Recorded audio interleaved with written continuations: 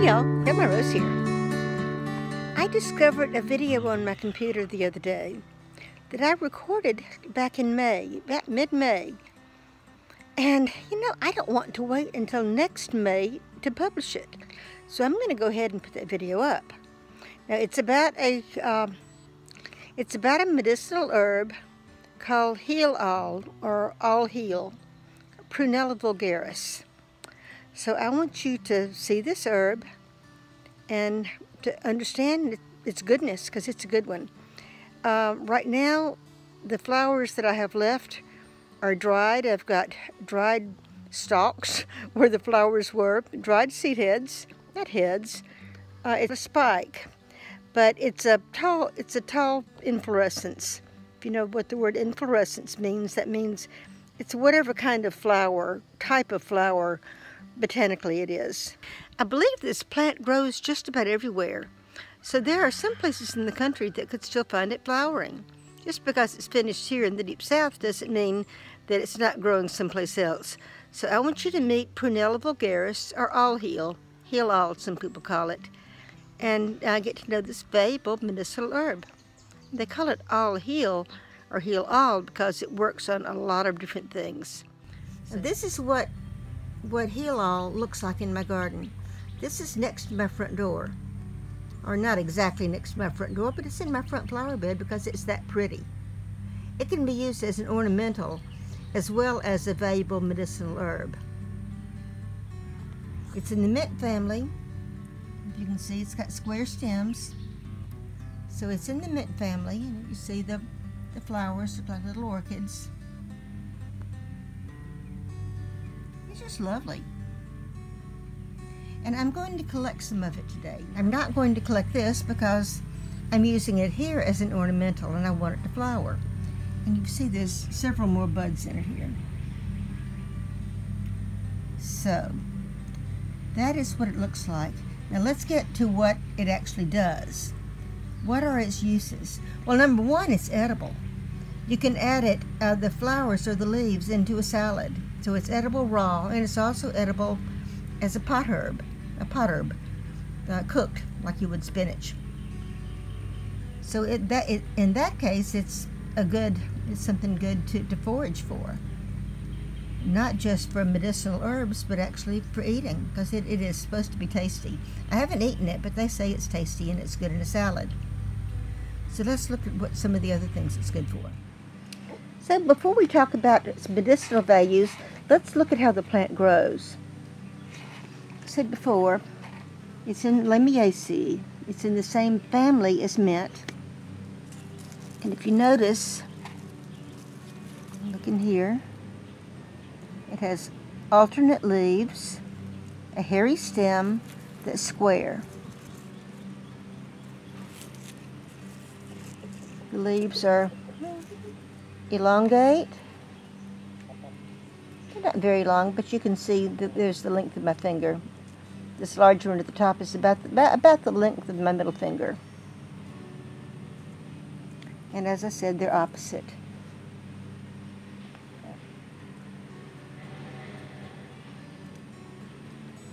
And the flowers at the top, at the, at the end of the stem. And the flowers look like little orchids. I just love I just love mint flowers. This one is getting ready to, to flower, has lots of buds on it. Now this is this is a perennial, so it will come back every year. Now I live in zone 8A, which is relatively warm. We still get freezes. Generally our winter temperatures don't go any colder than just a little bit below, below 20 degrees. And they don't stay cold. Our nights, our, our days don't stay cold. When we have a, a, cold snap like that, we call it a cold snap because it's that's about what it is. Snap your fingers and it's gone. But you know, sometimes uh, some plants will die because it gets too cold for them. But let's see what what what I've learned about this because I've known that it's a very very valuable herb. I've never collected it before because I have a man who mows my mows my lawn, and about the time I see it flowering, he comes and he mows it down and I don't get it. So I moved some of it. Last year I moved some of it into my flower beds so I would have it. So this is basically, my front flower bed is essentially part of my herb garden also. Oh, there was going to be. I guess you saw that. So, let me see. It says, what I've read, it says that uh, an infusion of the leaves, it's it's a beverage. It's a, a very supposed to be a very tasty beverage, and a weak infusion of the leaves can be used as an eye wash. It, it's, it's a treatment for styes and pink eye. And it's also taken internally, so not just as a wash or a gargle.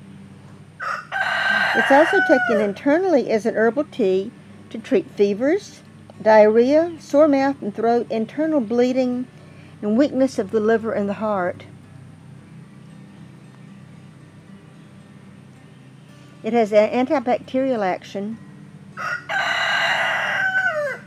It inhibits the growth of, the bacteria Pseudomonas, Bacillus typhii, E. coli, Mycobacterium tuberculi, or tuberculi, tuberculosis.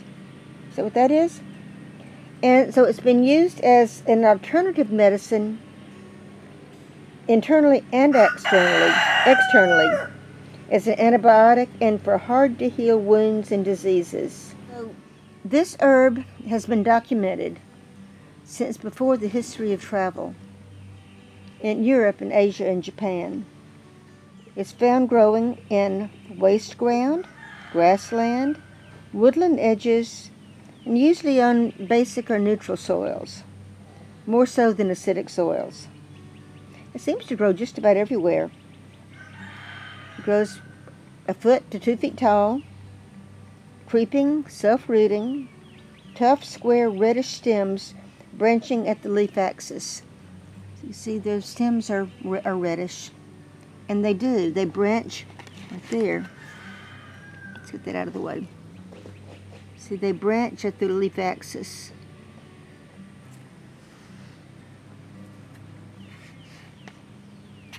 So it pretty much just, it acts like a walking onion, if, you, if you're familiar with that. It falls over. If it falls over, then it roots at the nodes and it just keeps on going. So the leaves are blank-shaped. They're serrate. If you look at the edges of the leaves, the leaves are not exactly smooth. They're, they have a serrated edge. Here's a better example right there. So the, the top lip of these flowers, they're, they're two-lipped, and the top, the top lip is purple. It's like a hood over the rest of the flower. As I said before, to me, it looks like a little, a look, it looks like little orchids. They're really pretty. Don't you think that looks like an orchid? Now, where I live, this blooms in May. And this is the early part of May. And this is when it generally blooms in my area. But other parts of the world, it blooms at different times, anywhere from June to August, depending on where you live. Now, it's easy to grow. It grows in damp, damp soil or dryish soil. It doesn't like to be totally wet or totally dry. In fact, it'll grow thicker if it's in a more shady environment than it will if it's in the sun. If you had the seeds of it, this would be a good seed to winter sow, if you're familiar with that method which is putting it in a container in soil, putting a top over it that has a vent in it to keep it from getting too hot inside and leaving it outside over the winter.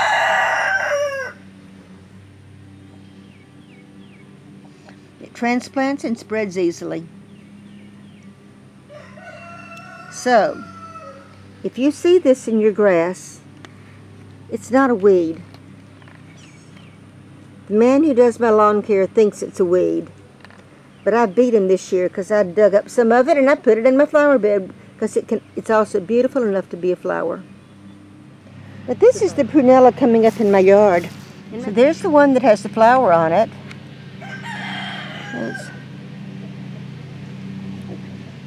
Very recognizable as a prunella, the flower, beautiful flower. All through here, I see leaves.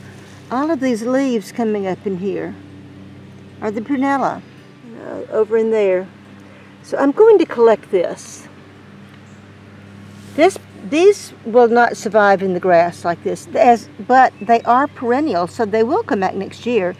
I'm just going to take some of the leaves and these flower heads right here because when my, the man comes to my yard Monday, they're not going to be here any longer. So I might as well go ahead and gather them now while I can before they're shredded up. We don't want these to be shredded up. I would rather have them dried and shredded up in a jar than shredded up as mulch on my yard. So I'm going to collect them. Here's the oh. basket. I've been collecting some right there. I'm just going to take this and just pinch out the tip. I'm just pinching out the tip like that. And I'll take the leaves.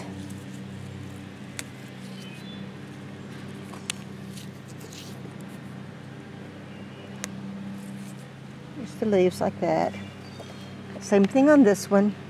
Pretty flower, but I can dry the flowers. They'll be pretty. Pretty. And again, just take the leaves. I will just continue that and fill up the basket with prunella. And I will have enough to dry and to make some tinctures. Now look here in the basket, you can see the purple stems. So these, the purple on these are on the stems is farther down on the stem, not not right up close to the flower too much. Here's a flower right here, and it is relatively purple. You see that there is some purple on it. There's that. So there is some, there's purple in the stem all the way up to the flower, but not all of them like this. So this one right here, the stem is not as purple. But on some of them, they have a purple stem. It's not all of them. Okay, y'all. You may recognize these leaves from earlier in this video, but this is what the what the flower heads look like after they finish flowering. So this way, even if it's not in flower, with the pretty purple flowers, this is what it looks like then get down to its level. I'll show you better. So there we go. Now, so we mentioned earlier in the other in the other part of the video, mentioned earlier in the other part of the video, this is what the leaves look like and how they join the stem. Square stems. It's in the mint family.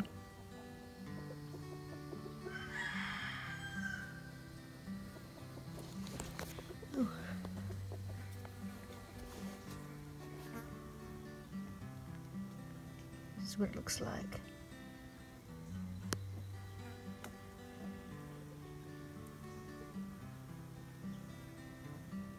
It's pretty even when it's not in flower. That would be pretty in a dried arrangement. Okay. Bye, y'all. See you next time.